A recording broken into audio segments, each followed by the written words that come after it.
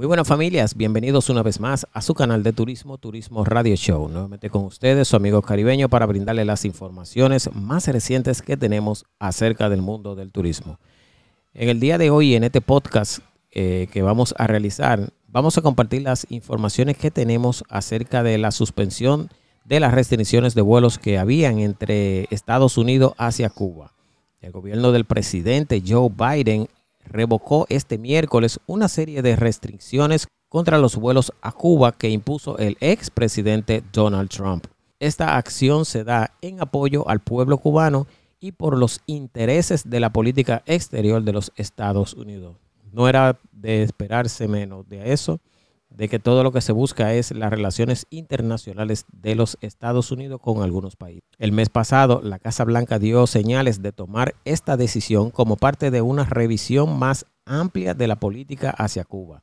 Las restricciones de vuelos se suspendieron con efecto inmediato lo que quieren decir que desde que se tomó la decisión se buscó las medidas que había que eliminar y todas fueron eliminadas con efecto inmediato, es lo que no quiere decir en este momento. El gobierno de Trump emitió una serie de restricciones de vuelos en el 2019 y en el 2020 en un intento por aumentar la presión económica de Estados Unidos sobre el gobierno cubano.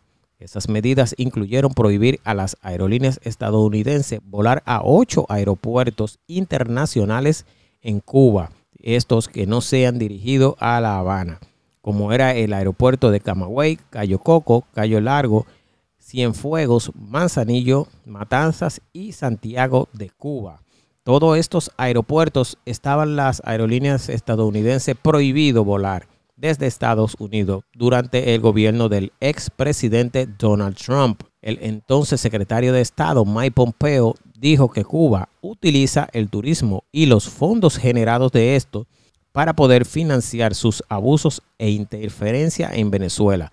Lo que se está buscando con esto es poder restablecer las relaciones internacionales que hay entre Cuba y Estados Unidos basados en las aerolíneas. Al parecer hay muchas quejas y hay situaciones porque la demanda es más grande que la oferta.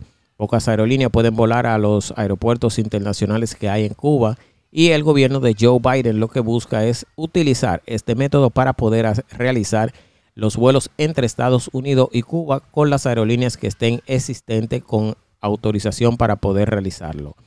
Más informaciones de esta la vamos a seguir teniendo en los podcasts que vamos a tener más adelante. La invitación es que en este canal se suscriba, active la campana de las notificaciones. Cada uno de los videos que dejamos puede dejar su comentario para nosotros analizarlo y dejarle cualquier respuesta que ustedes necesiten. Se despide de ustedes su amigo caribeño y nos vemos en otro podcast más adelante.